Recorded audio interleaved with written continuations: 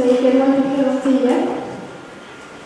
Alors, pour faire très court, ma thèse consiste à étudier la manière dont les savoirs de l'écologie scientifique sont mobilisés dans différentes actions sur la nature, donc par exemple l'évaluation d'impact environnemental, la conservation en réserve naturelle et les opérations de restauration écologique.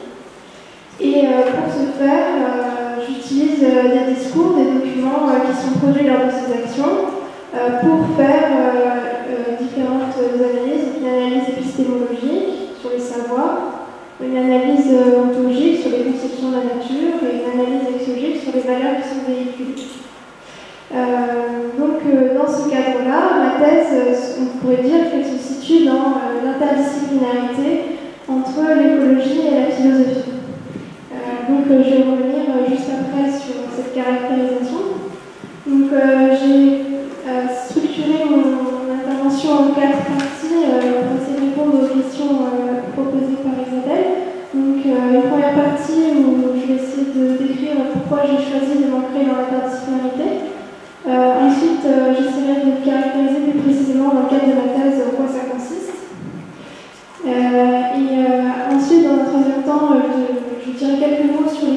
De temps et de spatialité de la.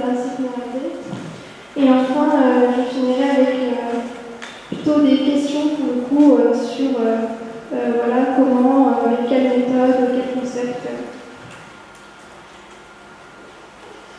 Donc, pourquoi est-ce que j'ai choisi de me situer dans l'interdisciplinarité Alors, avant tout, c'est parti de raisons d'intérêt personnel. Donc à la fois pour le sciences de la nature comme l'écologie, et euh, pour les, de manière plus générale les, SHS, mais en particulier, enfin, plus particulièrement la philosophie. Et donc, ce double intérêt, j'ai voulu l'intégrer très tôt dans, dans ma formation universitaire, dès la licence. Et donc, j'ai étudié en parallèle les sciences de la nature et la philosophie. Et euh, donc euh, c'était euh, le moyen que j'ai trouvé pour me situer assez interdisciplinarité. et donc au-delà de ces raisons plus personnelles, pourquoi est-ce que j'ai voulu continuer et, intégrer cette interdisciplinarité dans ma thèse? Alors c'est parti du fait que après mon master en écologie, j'ai voulu construire euh, une réflexivité euh, vis-à-vis euh, de la pratique que j'avais dans cette discipline, notamment travers les cours, les stages, etc. et je voulais pour cela intégrer des apports qui ne viennent pas que de l'écologie elle-même en tant que discipline. donc c'est une période où j'ai par exemple voulu réfléchir à la notion de service qui était évoquée euh, euh, à de nombreuses reprises euh, dans les cours et sur laquelle je m'interrogeais, et où il me semblait que l'écologie seule ne donnait pas tous les moyens pour, pour y réfléchir. Et donc c'est à partir de ce moment-là que j'ai commencé à envisager une alliance possible entre l'écologie et la philosophie, qui jusque-là était demeurée assez séparée dans, mon parcours. Étudié les deux en parallèle, mais euh, je n'avais jamais vraiment fait euh, un, lien ou quelque chose de commun entre les deux.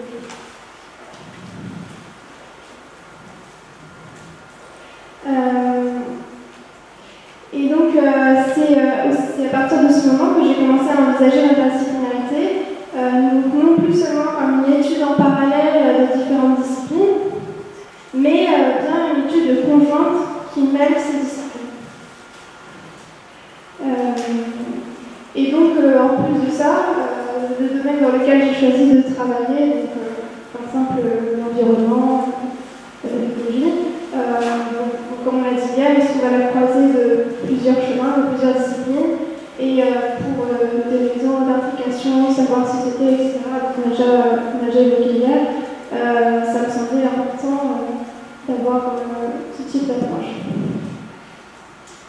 Alors, comment est-ce que je caractérise la particularité dans ma thèse?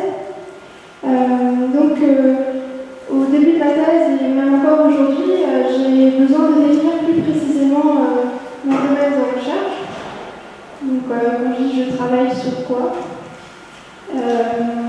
Et donc, ça implique définir qu'est-ce que ça signifie plus exactement cette interdisciplinarité? C'est quand même un mot qui peut être assez large. et donc, une des questions que je me pose encore aujourd'hui, c'est est-ce que l'interdisciplinarité peut être un domaine en soi et pas juste euh, un entre deux disciplines ou entre plusieurs disciplines? Parce qu'on peut dire euh, je manque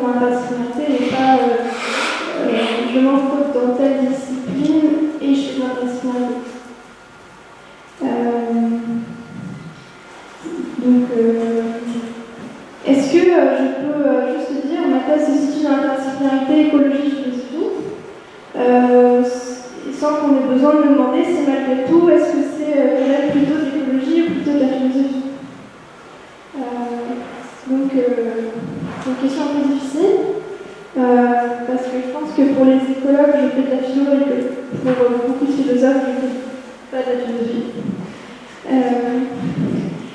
et donc, ça pourrait être un débat sans fin, je pense, parce que, par exemple, du point de vue des méthodes que j'utilise, on pourrait me situer recherche plutôt en philosophie du fait que je fais de l'analyse de discours et pas d'analyse de données. Euh, mais du point de vue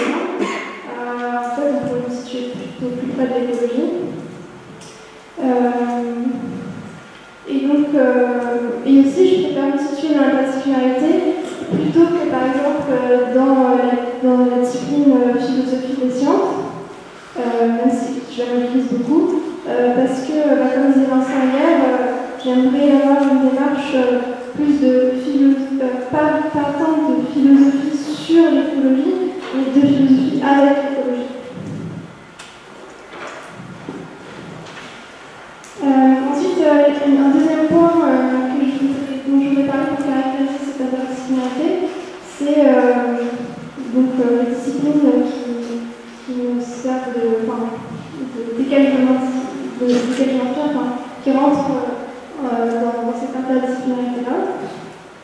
Euh, donc, euh, je vous ai parlé écologie-philosophie, mais en fait, au cours de ma thèse, j'ai été amenée, je suis amenée à intégrer des apports d'autres disciplines dans lesquelles je n'ai pas, particulièrement pas du tout été donc l'histoire, l'anthropologie, la sociologie. Et donc là, je propose de distinguer différents donc euh, des disciplines qui euh, seraient euh, plutôt centrales dans l'interdisciplinarité de ma thèse, donc l'écologie et la parce que c'est des disciplines dans lesquelles je suis formée, et des disciplines qui sont plus du coup de support, donc les autres, histoire anthropo, si tu veux, où j'ai pas de formation et donc j'utilise pas les méthodes, mais donc là j'entends pour les apports, les qui nous sont utiles dans la recherche. et donc ça, évidemment, ça varie en fonction de l'intentionnalité dans laquelle on se situe. Quand je dis centrale, mais je pense c'est pas forcément que le stylo est plus central dans l'absolu. C'est juste par rapport à l'information. Euh, euh, donc j'en viens au troisième point sur euh, les questions de temps et d'espace dans l'interdisciplinarité. Donc le temps, on en a pas mal parlé hier aussi. Euh, donc je voudrais juste dire quelques, deux mots sur la question de, du temps pour se familiariser avec la vidéo. Donc je pense que ça demande quand même plus de temps de se familiariser avec la vidéo de plusieurs disciplines et d'autant plus, euh, parfois, euh, souvent des disciplines qu'on ne maîtrise pas forcément ou, on doit repartir presque de zéro pour euh, comprendre tous les concepts, etc. Et sur cette question-là, hier, on parlait aussi de. Il y a des personnes qui ont posé la question de, de, la formation interdisciplinaire avant ou pendant la thèse.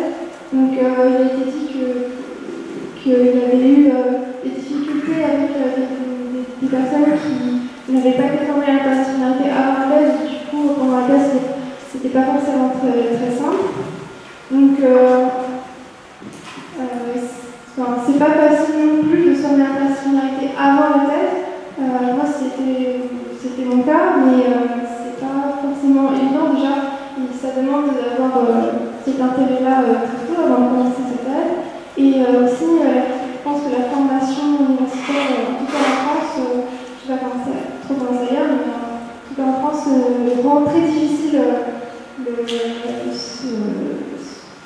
cette ouverture-là. Par exemple, pour mon cas, j'ai fait un, double cursus qui est un partenariat entre deux universités, une des sciences de, de SHS. Et donc ça demande de, du coup d'autant plus de, travail et aussi pouvoir gérer emplois du temps avec plusieurs cours qu'on etc. Et au bout d'un moment, on est quand même obligé de choisir en, en continuer à faire deux en parallèle, j'ai dû choisir. Et j'ai dû mettre euh, la philosophie euh, de côté pendant deux ans. Euh, donc, pas facile même si on veut, de se former à la avant la tête. Et j'espère que ce type de formation va pouvoir se développer davantage à l'avenir. Euh, ensuite, euh, sur des questions plus euh, spatiales, je pense que c'est important d'évoluer dans des soit des labos, des terrains, des collèges, investis par différentes disciplines. ça permet aussi de rencontrer des gens qui viennent de différentes disciplines ou de l'interdisciplinarité. donc, par exemple, moi je suis basée à l'ISEM, je suis entourée d'écologues et de biologistes évolutionnistes. Du coup, ça, ça me permet de, bah, si j'ai des questions en écologie, pouvoir les poser facilement et de garder cet ancrage euh, écologique. Euh, euh, et en même temps, dans les colloques, je vais peut-être plus aller du coup vers les colloques internationaux, plus